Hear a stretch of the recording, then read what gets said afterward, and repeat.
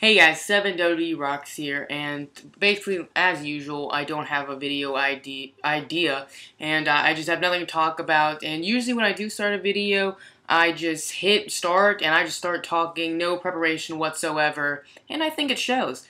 But anyway, uh, um, so Raw's tonight is going to be hopefully a good one. It's the go-home show to Night of Champions, which will be next this Sunday, of course, and basically Brock Lesnar will be returning to Raw tonight. It has been confirmed. You know, he should every go home show. I think he should be on Raw.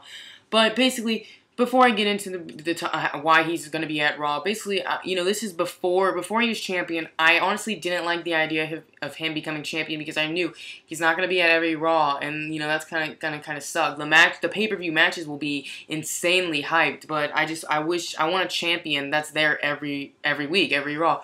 But now it's kind of it's kind of the opposite. I honestly, you know, how I feel about it now is the WWE champion. He's returning. He's finally coming back to Raw. It's wow, the WWE champion is on Raw. You know it's going to be a good one. It adds more prestige to the championship. I don't know if you guys feel that way. Let me know if you do. But it just feels like you know something big's gonna happen when he comes, and you you are more excited for the WWE champion and him, you know, maybe defending the belt or just being on the show. Let me know what you guys think. But um, basically John Cena says he wants to fight Brock Lesnar now. He doesn't wait want to wait till Night of Champions. And so Paul Heyman, you know, is back and forth their banter and such. And so John Cena said, next week if Brock Lesnar doesn't show up, I'm gonna fight you, Paul Heyman. So I think maybe something will happen where it looks like John Cena is about to punch, you know, Paul Heyman. He's about to fight him, and then Brock's music's gonna hit, and maybe they start just fighting, and just a whole brawl breaks out. The locker room comes out, you know, Finlay, Jamie Noble, and they they pull him aside and such, and maybe some a big brawl happens. Maybe they don't even touch each other until Night of Champions. Maybe they don't even fight.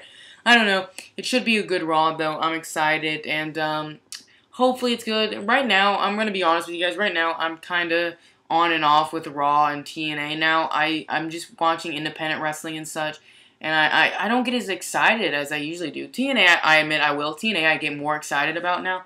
But Raw just seems like I'm just, you know, coming home from school and I want to, want to, you know, good Raw so I can take my mind off schoolwork and blah, blah. And it sucks, and I'm like, well, I just wasted three hours when I could have been doing something else on my, you know, when I'm off. So I, you know, don't have to. Uh, so if I do watch Raw, I just have to stay up late, and I just have to go bed right after. So that really sucks. But enough of that. Enough of that crap. I, I need to stop complaining.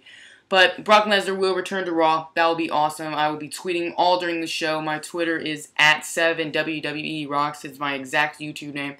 It's going to be a good show, hopefully. Tweet along with me, guys, and uh, let me know what you guys think of the show as it's happening. Like, comment, subscribe, all the good stuff. And as always, thank you for watching. And as always, have a nice day. Thank you guys.